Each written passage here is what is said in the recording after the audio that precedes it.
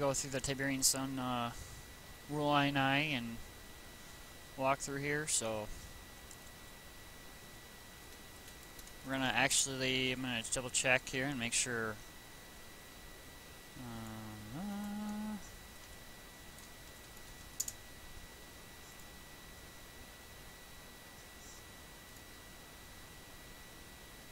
there you go, CNET, download and play online for free.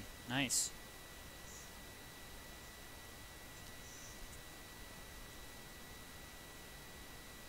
Wow, it looks like they brought it back online. Nice. Green Sun online install. Wow. Huh. They must have also, uh,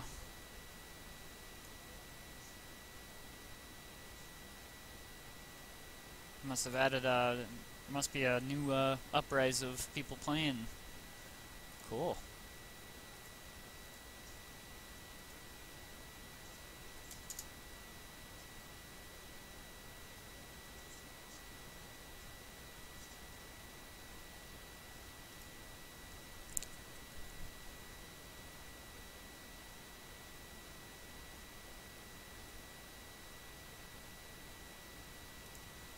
see.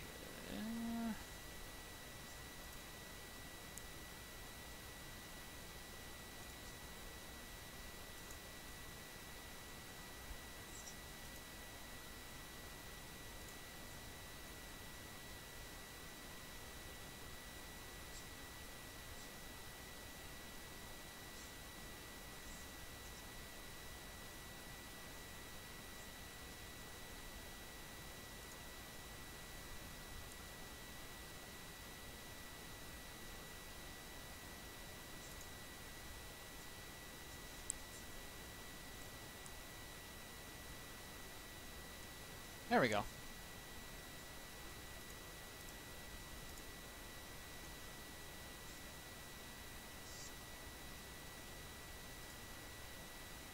There we go. So 1.2 gigabyte, yep, there we go. So obviously you can see that the download is, you just gotta suss around. Um, I thought it was on the, just right on the Command & Conquer website. CNC.com. Oh, there it is.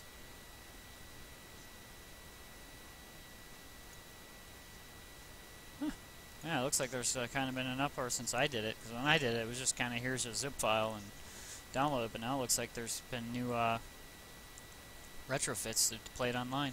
Hmm, I'll have to try that. But with also the rule on I, that won't work. So don't. Uh,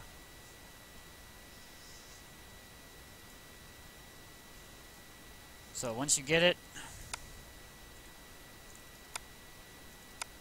Um, they should give you a rule INI with it. Well, once it finishes, I'll also double check. But here's my original. Um, actually, I already had it open, so here's my original. Um, here's the edit. So that pretty much any premise of editing an INI, it's just basically playing around and changing things and what have you. And all you have to understand is that everything, in games like this, everything had to be broken down. Um, actually, I guess it's in everything, every game, but in INI form, it has to be broken down in INI form for these particular games. And that means that everything has a defined damage, storage point, uh, you name it. Everything's defined in some way or another. It's a question of learning how that's defined and um, how to change it um, is key. And when you're talking about simple swapping around weapons, armor, and storage of things, not very difficult. Um, it's when you get into more difficult or like trying to give GDI um, or Nod, you know, giving making Nod have the capability of building everything of GDI, then that gets a little more difficult in figuring out how to get that all to work. Um, if you want like a combined team, so that way when you build that MCV, you get GDI options and Nod options. That becomes a little more difficult. But when you're talking about, uh, definitely I played with it, and it's a little more difficult. But when you're talking about changing weapons and stuff, it's very easy. So what you want to do is you go here, like mobile repair vehicle for Nod um, uses repair bullets. So that's the weapon that it uses. There's the strength of it, the armor of it, the tech level where you get the option for it. So all these things can be edited in order to change. You know, so if you change the tech level to one, it'll pop up as soon as you build your war factory versus having to build a tech center or radar to get the option. Same thing with artillery. Um, again, primary weapon, 155 mm cannon. Um, this is my edited one, so you can see the secondary or added uh, Red Eye 2, which is the um, SAM missile.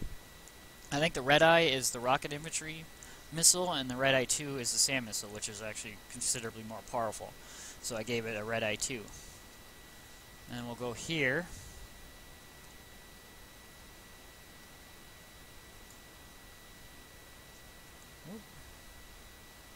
And um, one thing to learn about navigating uh, text like this is the search option is your friend.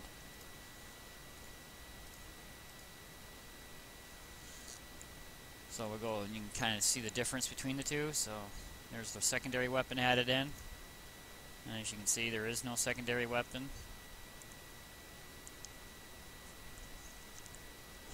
Now, when it comes to editing weapon, you think you don't see any, you know, uh, you know weapon attributes because weapons are defined. So if you want to increase the power of a weapon, and you see deployed is also separate from undeployed, so you have to change both of them um, when it's driving around and then once it's deployed. Um, every weapon is defined differently or separately. So you want to actually, if you're looking to increase range, rate of fire, um, uh, damage of that weapon, um, or that unit, you're not actually thinking the premises of increasing the unit's damage, you're actually thinking of that, that particular weapon's damage. So remember that. So if you're trying to increase the range of the artillery, or the damage of the artillery, that's what will do it, is increase the one, or messing with the 155 millimeter cannon attributes. And the Sonic Zap, that's um, actually the Disruptor's weapon, so that's where you find that. So all you have to do is add in Sonic Zap and as a secondary instead, and bam, it's got Disruptor secondaries. There's the Repair Bullet, um, the Heal, which is, I believe, is the for the medic. Yep, for the medic from uh, GDI side the Vulcan 2, which is actually the machine gun from the GDI's what whatchamahave so obviously that could be added can give anybody, you know, change their machine gun to the Vulcan, which is actually considerably better than most uh, laser fire. That's actually the Bleast Lights weapon, so you can mess with that or give it as a secondary to another unit. Um, laser Fire 2 is the regular laser, which also can be added. Um,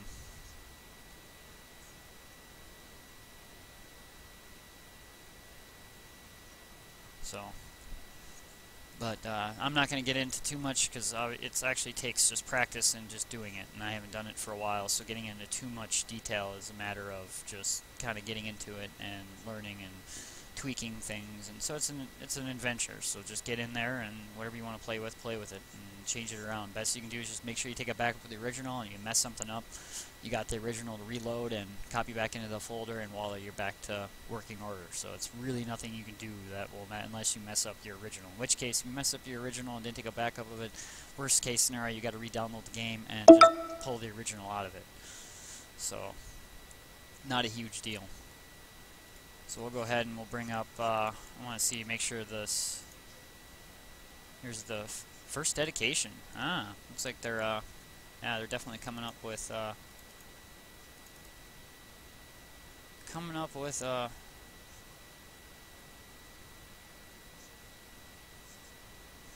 I got the new, uh,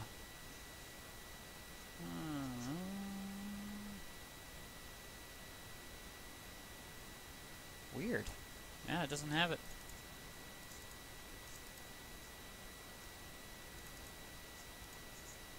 At least this new one doesn't.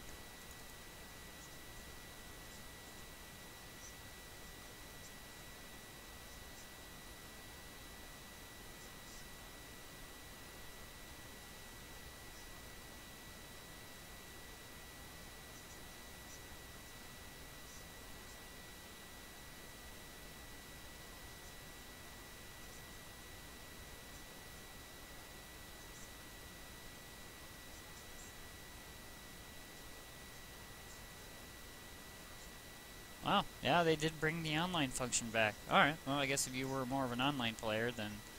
But that will actually negate uh, the rule i INI for the most part, unless you get somebody to... I think it, there's a way to get it to work, um, as long as both of you agree to...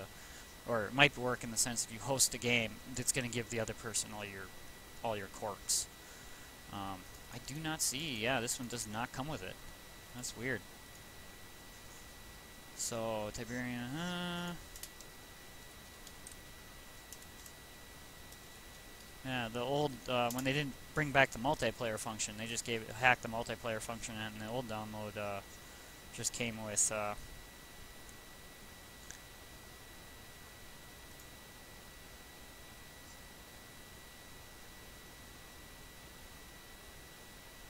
just seeing if uh, the rule ini can be, because all you really need is the rule ini text file, and that's all you really need. That's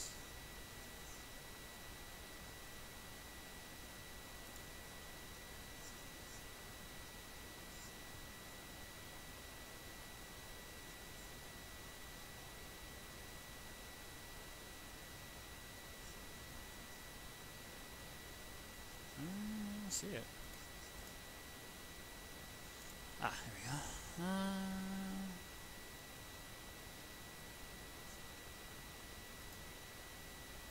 there we go.